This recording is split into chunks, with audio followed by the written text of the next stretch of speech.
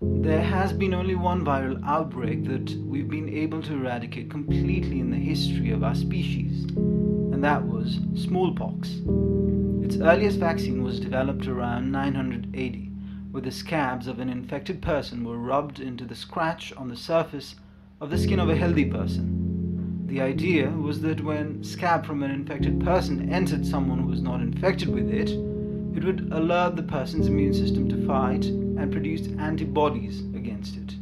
This meant that when the smallpox virus did in fact get into someone with no traces of it, the body would already have developed a good warning system to alarm the immune system and fight it. This simple method helped bring down the fatality rate of smallpox from 30% to 2%.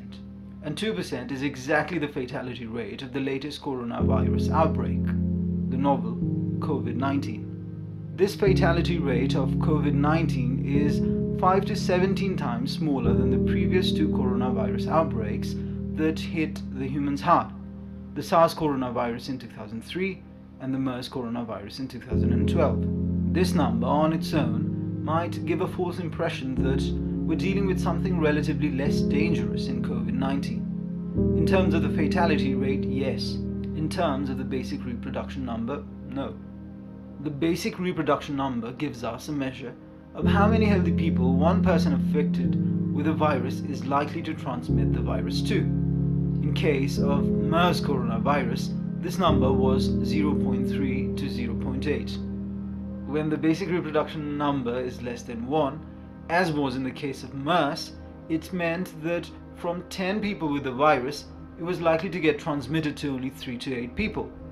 And these 3 to 8 people in turn were likely to affect only 1 to 4 people, and so on.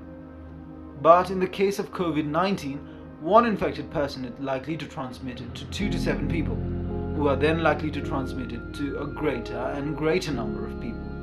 This unprecedented rate of transmission is one of the reasons why even countries such as Italy and the United States of America and Australia, etc., have been forced into a quarantine.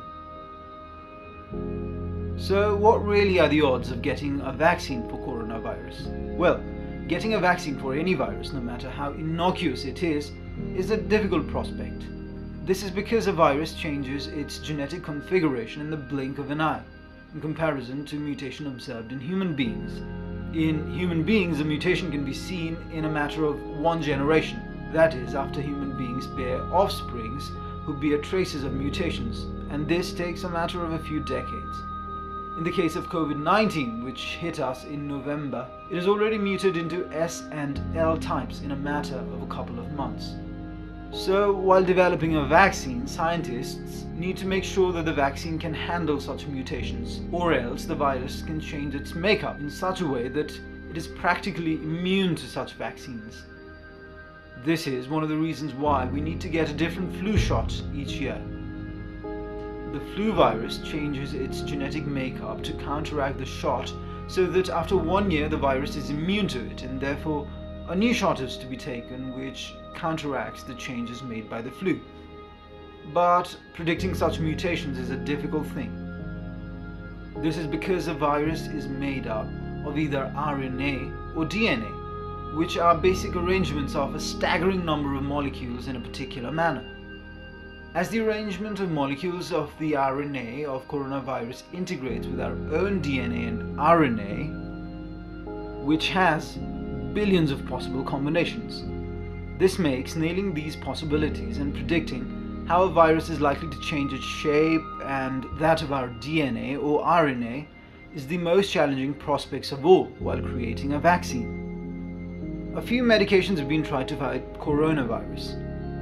A cocktail of lopinavir and ritonavir, which are used to lower HIV levels in our bloodstream, was served to a person in Thailand.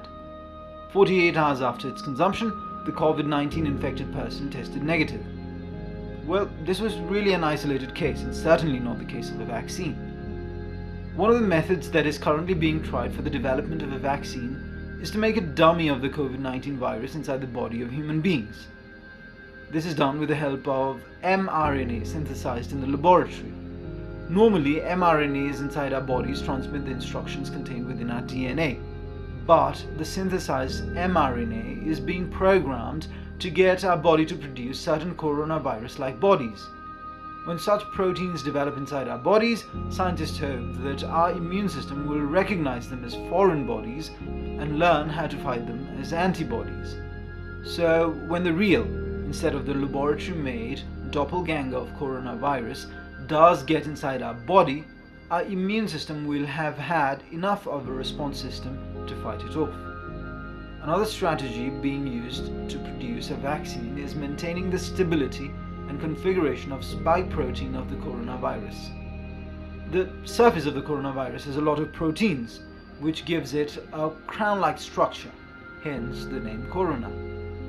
Researchers are working on synthesizing amino acid sequences in laboratory such that when it is inserted into the spike protein of a coronavirus, they bind perfectly with each other. This produces a greater stabilization of the spike and may help our body provoke accurate immune response. But before such vaccines are tried in human beings, conventionally such tests are performed in laboratories in animals such as mice.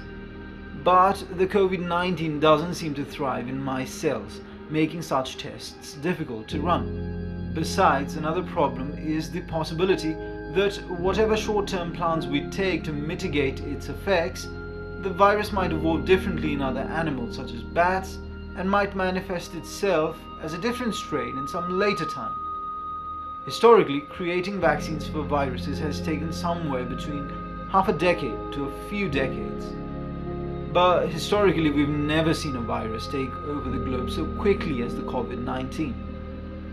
The positive side in all of this is that Never in our history have we had as many resources, scientifically or economically, to counteract a virus. So it will be interesting to see further developments in the making of the vaccine of coronavirus.